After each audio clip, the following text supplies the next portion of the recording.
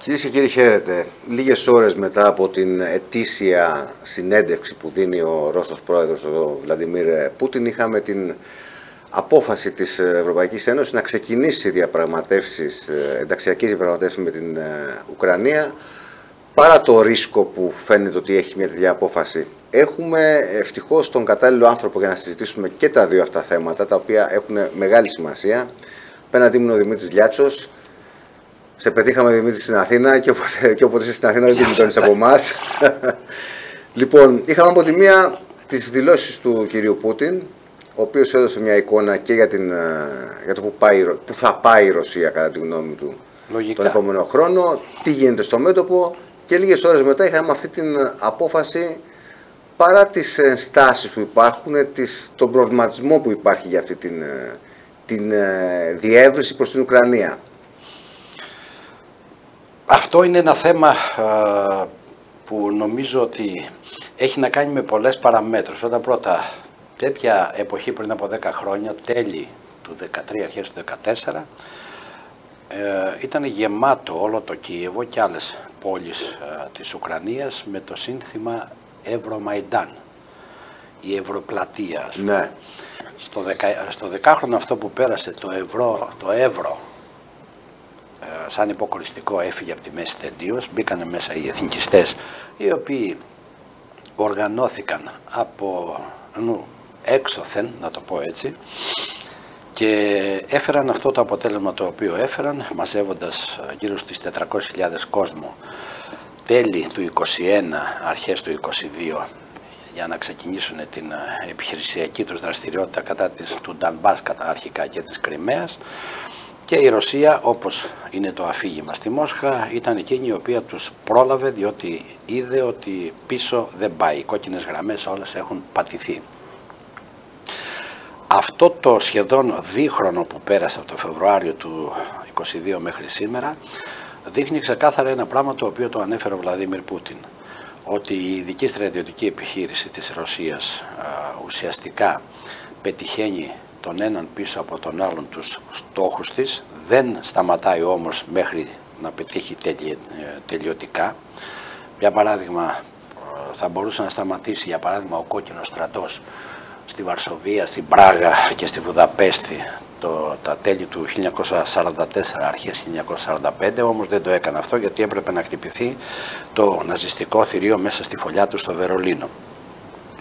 Γυρίζοντας τώρα πίσω να πούμε το εξής. Αυτό που έκανε ο Βλαδίμιρ Πούτιν αυτές τις μέρες ήταν η ετήσια θέλετε να το πούμε απολογισμός, θέλετε να το πούμε ε, συνέντευξη, ένα μείγμα Και μια πρόβλεψη νομίζω για το... Και μια πρόβλεψη ναι. ακριβώς διότι ε, πριν από την Ευρωπαϊκή Ένωση και την ε, Σύνοδο της Ευρωπαϊκής Ένωσης ο Βλαδίμιρ Πούτιν ήταν εκείνος ο οποίος σε ερώτηση που δέχτηκε, προφανώς στη Μένιν το λέω καθαρά δηλαδή, ε, έδωσε την απάντηση ότι θα είναι ξανά υποψήφιος στις εκλογές που θα γίνουν στις 17 Μαρτίου, αν θυμάμαι καλά, του 2024, ε, για να πάρει κατά βάση πιθανότητα άλλη μία εξαετία μέχρι το 2030 θα έχουμε Πούτιν.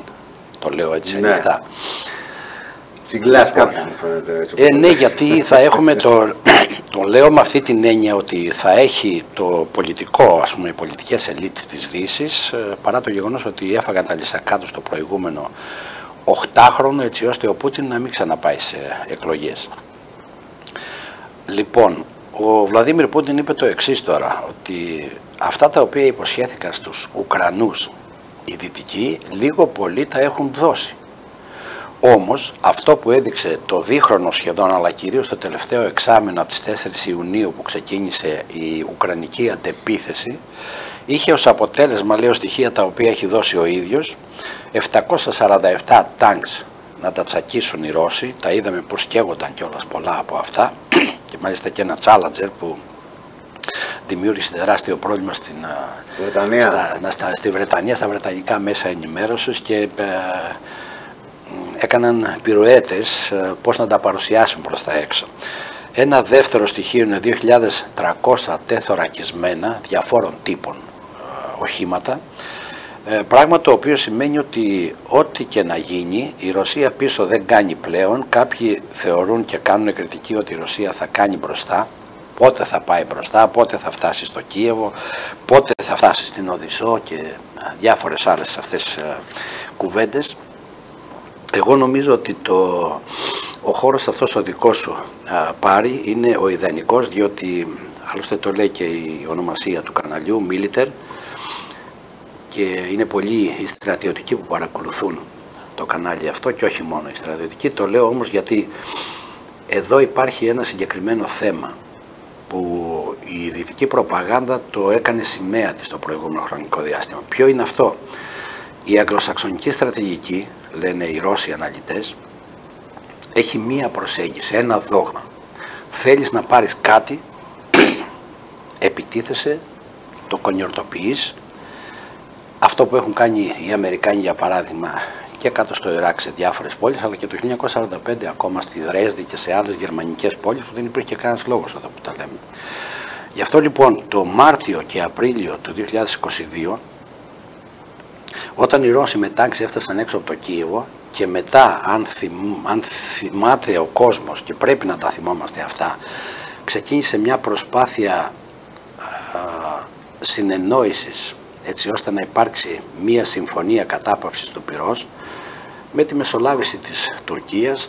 Το έχει επαναλάβει πολλές φορές αυτό ο Σεργέη Λαυρόφ και τότε έχει δείξει ο Πούτιν ολόκληρη την συμφωνία που μονογράφηκε και από τις δύο πλευρές και η οποία εκείνη η συμφωνία από ό,τι θυμάμαι όπως είδα τα τμήματά της εκεί πέρα τα λέω τώρα περιφραστικά ήταν ότι η Ουκρανία παραμένει ως έχει με ουδέτερο καθεστώς. Υπογραφή συμφωνίας ότι δεν μπαίνει σε κανένα ΝΑΤΟ μέσα ότι είναι ε, ανεξάρτητη χώρα ουδέτερη αυτό το οποίο επιδίωκε η Ρωσία από την αρχή. Ε, ότι η ρωσική γλώσσα δεν κυνηγέται σε μια χώρα σαν την Ουκρανία, γιατί η ρωσική γλώσσα σε αυτή τη χώρα, εγώ που σπούδασα στο Κίεβο, σας λέω ότι δεν ήταν ποτέ μειοψηφία. Ήταν η καθομιλούμενη γλώσσα, ας πούμε, και από τη Σοβιετική εποχή, χωρίς να καταπιέζεται καμία άλλη γλώσσα, ούτε η ελληνική, ούτε η ουκρανική, ούτε η ουγγαρέζικη στα, στα Καρπάθια και πάει λέγοντας. Αυτό είναι το δόγμα το αγγλοσαξονικό. Όταν πας και δεν ισοπεδώνεις μια πόλη, έχεις χάσει. Ναι. Η απάντηση είναι αυτή. Το ρωσικό δόγμα όμως δεν είναι αυτό, είναι διαφορετικό.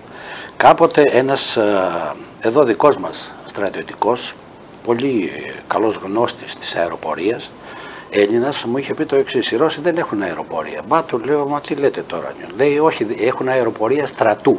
Τι εννοείται, του λέω, εγώ δεν είμαι στρατιωτικός.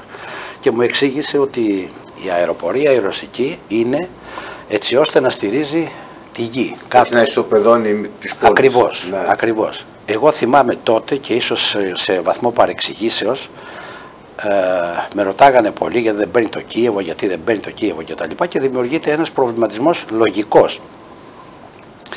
Δεν υπάρχει περίπτωση ποτέ, είχα πει, η Ρωσία να βομβαρδίσει τη μάνα των ρωσικών πόλεων το Κίεβο ή να βομβαρδίσει την Οδυσσό, μια πόλη καθαρά ρωσική που κάτω στο λιμάνι της Οδυσσού για όσους έχουν πάει υψώνονταν αυτή η μεγάλη γέφυρα που ο Αϊζενστάιν έδειξε στο έργο του από την Οκτωβριανή Επανάσταση και πάνω σε αυτή είναι το τεράστιο άγαλμα της Μεγάλης Εκατερίνης.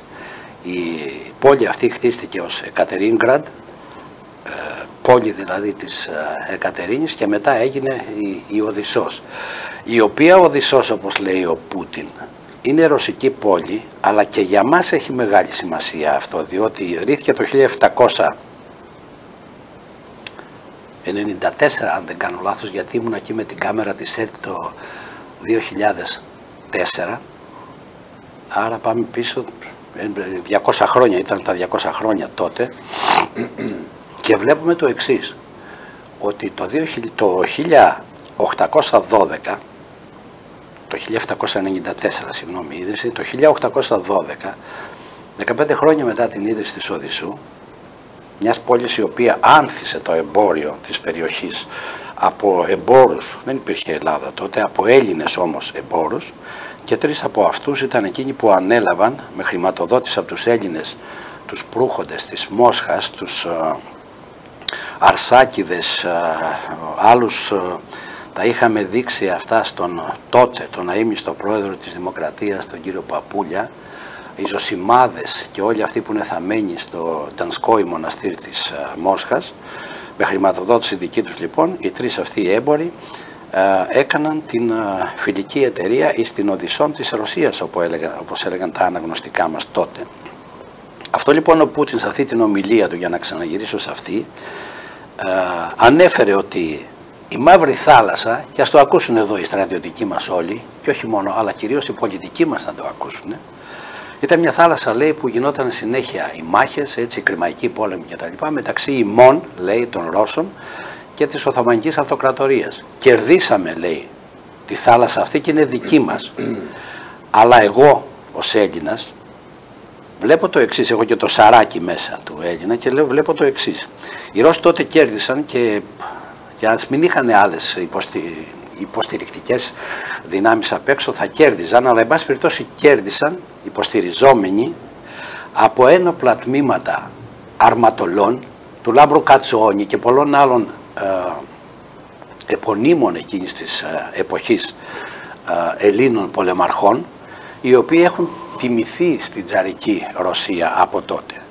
Και το λέω αυτό πάρει διότι μετά από αυτό, και αυτό υπονοούσε ο Βλαντίμιρ Πούτιν, έσβοχνε προς τα εκεί, νομίζω ότι έχεις εδώ διάφορους ε, ε, καλεσμένους σου, οι οποίοι βλέπουν αυτή την παράμετρο, άσχετα αν τη λένε ή όχι, η οποία παράμετρος λέει το εξής. Οι Ρώσοι δεν θέλουν ποτέ να χαλάσουν τις σχέσεις με το, ο, ο ρωσικός κόσμος με τον ελληνικό κόσμο. αν εμείς κάποιοι, όχι οι Έλληνες, αλλά η ελληνική ηγεσία. Αποφάσισε και τοποθετήθηκε σε άλλη πλευρά, αυτό είναι ένα θέμα της πολιτικής ηγεσίας γιατί δεν έχει κάνει με τις ε, κοινωνίες. Από τότε λοιπόν και στη συνέχεια δημιουργήθηκαν όλες αυτές οι προϋποθέσεις της ε, καλής σχέσης μεταξύ του ρωσικού και του ελληνικού στοιχείου και καθοριστικό ρόλο εδώ πέρα είναι αυτό το πράγμα έπαιξε η Ορθοδοξία και είχαμε και ίδρυση άλλων πόλεων όπως είναι η Μαριούπολη εκείνη την εποχή, η πόλη της Μαρίας, η Μελιτούπολη δίπλα και άλλες εκεί στην περιοχή της Χερσόνας. Η Χερσόνα είναι μια περιοχή, ελληνική πόλη και αυτή, που αν συνεχίσεις παρακάτω βγαίνεις μέσα στην Κρυμαία, που εκεί λοιπόν είναι ξεκάθαρα όλος ο, ο ελληνισμός σε ονομασίες, τοπονύμια, μέχρι και περιοχή Λάσπη υπάρχει. Λάσπη όχι η Λάσπη, οι Λάσπες. Γιατί εκεί ήταν κάτω στη θάλασσα που αλήφονταν με αυτές τις, ναι. αυτές όπως κάνουν εδώ στο Μεσολόγιο και σε κάποιες άλλες Έχουν θεραπευτικές ιδιότητες. Ακριβώς. Ναι. Μέχρι και τέτοια ονομασία έχω δει στην Κρυμαία. Ε, βλέπω λοιπόν ότι ε, ο Βλαδίμιρ Πούτιν έβαλε αυτά τα θέματα. Ε, το, το δόγμα το ρωσικό δεν είναι η ισοπαίδωση πόλεων, αλλιώς θα είχε φτάσει μέχρι και τη Βαρσοβία ακόμα αν έκανε κάτι τέτοιο. Ε, τότε θα πει κάποιος, σε καθαρά έτσι ψυχρό επίπεδο, χάνει η Ρωσία. Όχι, δεν χάνει.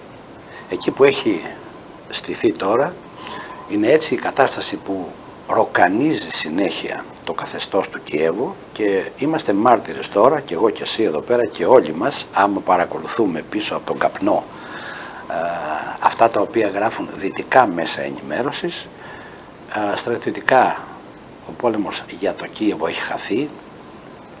Περνάει σε αμυντικές θέσεις και οι Βρετανοί τώρα επιχειρούν και αυτό είναι το επικίνδυνο για την Ουκρανία όχι για τη Ρωσία επιχειρούν να δημιουργήσουν αυτό το οποίο έκανε ο στρατηγός Σουραβίκιν πριν από 15 μήνες τον Οκτώβριο του 2022 έξω από τη Χερσόνα να δημιουργήσει τα λεγόμενα δόντια του δράκου αυτές τις ε, τσιμέντινες ε, υποδομές που δημιουργούν εκεί πέρα με πάνω αυτά τα εχμηρά σαν μαχαίρια, σαν αυτά κτλ που δεν μπορεί να τα περάσει ούτε τάγκς, πόσο δε άλλα οχήματα και φτάνοντας εκεί έχουν σπάσει τα μούτρα τους οι αυτοί. Αυτό προσπαθούν τώρα να το κάνουν οι Ουκρανοί. Με... Για να κρατήσουν ότι έχει απομείνει. Για να κρατήσουν ακριβώς αυτό ότι έχει απομείνει. Δεν θέλουν ε, με κανένα, ε, για κανένα λόγο και με τίποτα να αφήσουν το καθεστώς του Κιέβου να υποχωρήσει και φυσικά κάνουν ό,τι είναι δυνατόν έτσι ώστε η Ουκρανία να κρατήσει διέξοδο στην ε, Μαύρη Θάλασσα διότι η Μαύρη Θάλασσα αν η Ρωσία πάρει και την Οδυσσό και τον Νικολάευ δίπλα, βγαίνει στην υπερδνηστερία στο κομμάτι αυτό εκεί πέρα και ελέγχει απόλυτα. Είναι, είναι αυτό το, το Βερολίνο του 2023? Ε, κάποιοι μου λέγανε ότι το Βερολίνο 2023 είναι το Κίεβο, εγώ δεν θα συμφωνούσα σε Ναι, αυτό δεν το φαίνεται. πράγμα. ναι. Δεν θα συμφωνούσα με την έννοια ότι το Βερολίνο ήταν ε, η, η φωλιά ε, του φιδιού. Ναι. Εδώ ε, μπορεί να είναι η φωλιά του νέου φιδιού, του νέου ναζισμού, αλλά είναι μια πόλη που μπαίνεις μέσα, το Κίεβο, έτσι, που έχω ζήσει 10 χρόνια, είναι κομμάτι της ζωής μου, που και επειδή έχει και λόφους, από κάτω ο Δνήπερος πάνω ψηλά, η λόφη είναι η Αγία Λάβρα από εδώ, οι άλλες εκκλησίες από εκεί, βλέπεις τους τρούλους, τους χρυσοπίκυλτους, που ανέβαιναν οι χιτλερικοί και προσπαθούσαν να βγάλουν από εκεί τότε, ακόμα και με τα νύχια τους και με μαχαίρια, να βγάλουν χρυσάφι, ή να το, να το ε, ιδιοποιηθούν. Γι' αυτό ακριβώς δεν είναι Βερολίνο, είναι το Κίεβο, όμως το Κίεβο αυτό α, αυτή τη στιγμή δεν ανήκει στον κόσμο του, δεν ανήκει ε, σε αυτούς οι οποίοι έχουν γράψει ιστορία αιώνων για το Κίεβο, αλλά θα γίνει κάποια στιγμή διότι νομίζω ότι πολύ άσχημα και πολύ αδύναμα κρίνουν και βλέπουν τους Ρώσους παρά το γεγονός ότι τους μελετάνε 300 πλέον και πλέον χρόνια οι Βρετανοί. Ε, δεν καταλαβαίνουν τη ρωσική νοοτροπία. Υπάρχει αυτή η έκφραση «Ουμόμ ρασίου νι πανιάτ».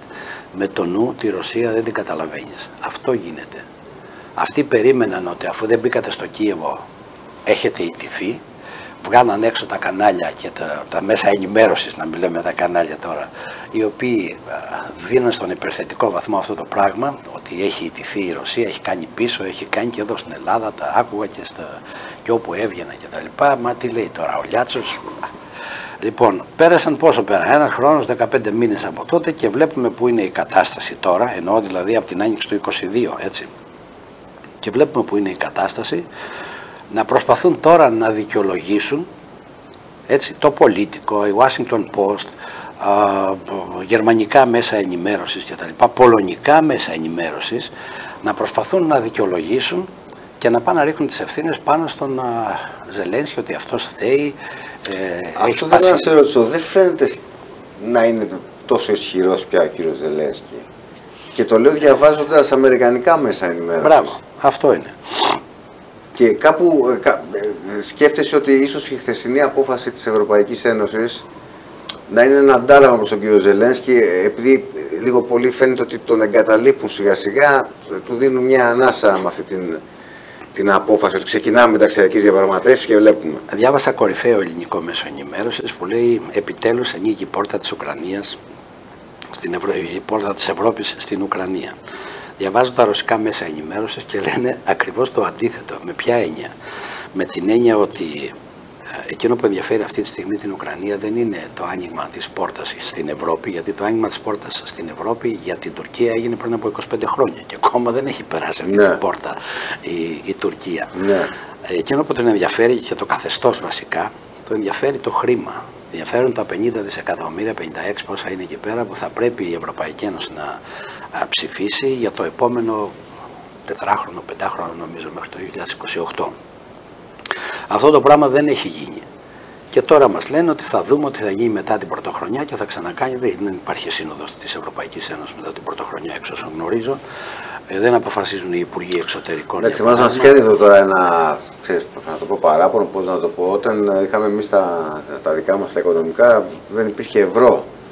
Τώρα βλέπω ότι η βροχή των, των Δύση στην Ουκρανία είναι, είναι ασύλληπτη.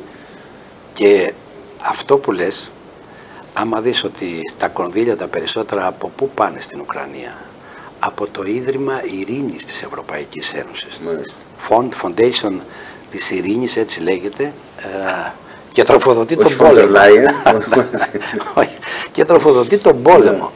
ναι. Το δεύτερο που κάνουν και νομίζω ότι εδώ φαίνεται και ο, ο τέλειος εξευτελισμός ας πούμε του δεσποτάτου της, των Βρυξελών είναι ότι επιδιώκουν να βρούνε τρόπους να αλλάξουν νόμους ε, να κάνουν διάφορες ματσαραγκές να το πω έτσι για να αρπάξουν καταθέσεις ρωσικές που βρίσκονται σε ευρωπαϊκές τράπεζες, είτε κρατικά χρήματα είτε ιδιωτών Ρώσων. Δηλαδή η πεμπτουσία του καπιταλισμού που είναι η ατομική ιδιοκτησία, το χρήμα κτλ.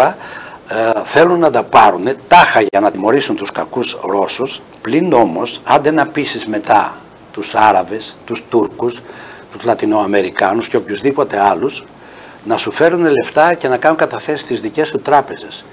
Ουσιαστικά ξεφτιλίζονται, αυτοξεφτιλίζονται οι ίδιοι, αλλά δεν τους ενδιαφέρει. Ποιοι είναι αυτοί; Ποια είναι η Φόντερ Λάιν, ποιος είναι ο Μπορέλ; Ποιοι είναι όλοι αυτοί; Αυτοί είναι δοτοί. Δεν έχουν εκλεγεί από κανέναν, δεν λογοδοτούν ποτέ και σε κανέναν όσο είναι εκεί που είναι και προσπαθούν τώρα να φάνε τα λεφτά των Ρώσων από τις τράπεζες και να τα δώσουν τάχα στους Ουκρανούς. Αυτό είναι ένα άλλο θέμα. Να το δούμε και να μην το πιστεύουμε, ας πούμε. Λοιπόν, γιατί δεν έχουν να κάνουν τίποτα. Έχουν, συγγνώμη, έχουν ξεβρακώσει ολόκληρη την Ευρώπη από αμυντικά συστήματα. Ε, αυτό αφορά κυρίως τη χώρα μας διότι εμείς δεν είμαστε απλώς Ευρώπη, είμαστε εξωτερικά σύνορα της mm. Ευρώπης. Είναι πολύ ε, ενδιαφέρον και αυτό έχουμε το την Τουρκία. ναι, ναι. Το, μα το ξέρουν. Δεν είμαστε Βέλγιο, δεν είμαστε Ολλανδία, δεν είμαστε Δανία, έτσι. Λοιπόν, και όμως εμείς είμαστε στη σωστή, σωστή πλευρά και παίρνουμε από το Αιγαίο και στέλνουμε στην Ουκρανία. Το κάναμε μέχρι τώρα, ελπίζω να μην συνεχιστεί αυτό το θέμα και ελπίζω οι πολιτικοί μας να έχουν τη δυνατότητα να κατανοήσουν ότι στρατιωτικά αυτό το θέμα έχει ξεφουσκώσει. το Αμερικανικό Κογκρέσο δεν ενέκρινε ε, ουσιαστικά ξεκινάνε οι γιορτές και το Αμερικανικό Κογκρέσο θα αρχίσει να συνεδριάζει ξανά από τις 15 Ιανουαρίου και μετά. Δηλαδή μετά από ένα μήνα και βάλε. Λοιπόν, και φυσικά όπως καταλαβαίνει ο καθένας δεν πρόκειται να ασχοληθεί. Το πρώτο θέμα του 24 που θα βάλει για να συζητήσει είναι η αμερικανική βοήθεια στις, στην Ουκρανία. Έχει εκλογές μπροστά του κ. Μπάιντεν, τα πράγματα γίνονται λίγο πιο περίπλοκα τώρα. Οι Αμερικάνοι έχουν εκλογές. Ο ναι. δεν ξέρω αν, έχει, αν θυμάται και αν καταλαβαίνει ότι έχει εκλογές και αν θα πάει να είναι υποψήφιος. Να, να κλείσουμε με κάτι που είπες. Ε, είπες ότι ο κ. Πούτιν αναφέρθηκε στις συγκρούσεις που υπήρχαν με την ε, Οθωμανική Αυτοκρατορία για τη Μαύρη Θάλασσα. Εντυπωσιάστηκαν εδώ οι Έλληνες πολίτες με την παρέμβαση της κυρίας Ζαχάροβα για τα γλυπτά του Παρθενώνα. Ξέρεις, ε, ε, εμείς περιμέναμε ότι δεν θα έχει κανένα λόγο η Μόσχα να πάρει θέση σε αυτό το θέμα και μάλιστα υπέρ μας μετά από τις στάσεις που έχουμε τηρήσει εμείς στην ε, ιστορία Ρωσία-Ουκρανία. Και έκανε εντύπωση η δήλωσή της. Αυτό δείχνει ξανά για όσους δεν κατάλαβαν ή δεν θυμούνται ή δεν θέλουν να θυμούνται ένα πράγμα.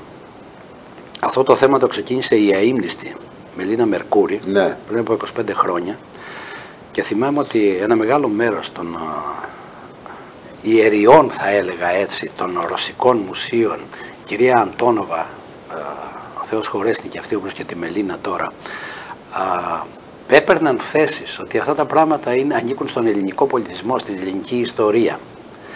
Τώρα ξαναμπαίνει στην επικαιρότητα αυτό το θέμα και η Ρωσία μετά από ένα τέταρτο του αιώνα, από τη, θυμάμαι δεκα, δεκαετία του 90, τα μέσα δεκαετίας του 90 μέχρι τώρα σχεδόν 30 χρόνια και η Ζαχάροβα δεν κάνει τίποτα άλλο παρά επαναλαμβάνει αυτή τη θέση αρχών της Ρωσίας ότι αυτά τα πράγματα ανήκουν στον ελληνικό πολιτισμό. Στη τελευταία ανάλυση υπάρχει και μια άλλη έκφραση που ακούγεται στη Ρωσία. Υπάρχουν μουσεία σε όλο τον κόσμο. Του, της Ακρόπολης, ο Λούβρος, το ένα το άλλο. Αλλά εκεί υπάρχει μόνο το Αγγλικό Μουσείο. Γιατί; Διότι δεν, είναι, δεν έχει τίποτα αγγλικό μέσα, είναι μαζέματα από την Αίγυπτο, την αρχαία Ελλάδα, τη Ρώμη και από όλο τον κόσμο και έχει γίνει αυτό το μουσείο. Δεν είναι επώνυμο, δεν είναι, δηλαδή έχει το όνομα Αγγλικό Μουσείο. Πού είναι το αυτό, δηλαδή πού είναι το, το Παρθενώνα, έτσι, το μουσείο του Παρθενώνα ή το, της Κορίνθου ή οτιδήποτε άλλο ας πούμε. Αυτό δείχνει ότι οι Εγγλέζοι, ε, επικυρίαρχοι τους προηγούμενους αιώνες, κρατάνε για τον εαυτό τους το δικαίωμα και το εκμεταλλεύονται κιόλας αυτό ας πούμε, σε βαθμό που οι Ρώσοι το καταλαβαίνουν αυτό και όσο και κάποιοι κυβερνήτες μας και αν είναι από την άλλη πλευρά δεν πρόκειται να αλλάξουν θέση για αυτά τα θέματα διότι είναι θέσεις αρχών. Όπως θέση αρχών είναι και το Κυπριακό εδώ που τα λέμε. Αλλιώς αν ήταν θέμα εκνευρισμού ή δυστροπίας ή δυσαρέσκειας κτλ. θα πήγαιναν να αναγνωρίσουν για παράδειγμα το, τα κατεχόμενα. ναι. έτσι, όπως μας είπανε σε αυτό και το λέω εδώ γιατί έχει σημασία ότι η Ρωσία άνοιξε εκεί πέρα γραφείο εξυπηρέτησης πολιτών. Η Ρωσία είναι η 8η χώρα που ανοίγει γραφείο εξυπηρέτησης πολιτών στα κατεχόμενα, πολιτών της, γιατί πριν από αυτή έχουν ανοίξει πρώτα και κύριε οι Βρετανοί, οι Γερμανοί, οι Γάλλοι, οι Ηνωμένες Πολιτείες. Αλλά εκεί δεν αντιδράσαμε. Ναι. Αλλά εκεί δεν κάνουμε πως δεν καταλαβαίνουμε. Έτσι. Ναι. Δημήτρη, σε ευχαριστώ πάρα πολύ. Χριστούγεννα στη Μόσχα υποθέτω θα περάσει, έτσι. Ναι, βέβαια, γιατί είναι και τα εισιτήρια. Έχουμε παίξει και σε αυτό ρόλο εμείς. Τώρα για να πας και να έρθεις, κάνεις το γύρο του κόσμου, έτσι. Εγώ πάντως πετάω μέσα από ελληνικό χώρο, όπως είναι ναι. ονομασίες τουλάχιστον. Μόσχα, Κωνσταντινούπολη, Κωνσταντινούπολη, Αθήνα. Έτσι. Σωστό. Υπάρχουν και άλλες λύσεις, αλλά είναι όλες Προτιμάς την πόλη. Για εμάς τους δημοσιογράφους είναι πανάκριβες. Σε ευχαριστώ πάρα πολύ. Ε, παρακολουθούμε τον α, ιδεοχώρο και όποτε μπορούμε σε κλέβουμε και λίγο, έτσι, θα μας χωρέσεις. Καλά κάντε για να, για να δίνουμε τις αυτές, έτσι, η ελεύθερη διακίνηση απόψεων. Να είσαι καλά. Ευχαριστώ πάρα πολύ. Και εγώ.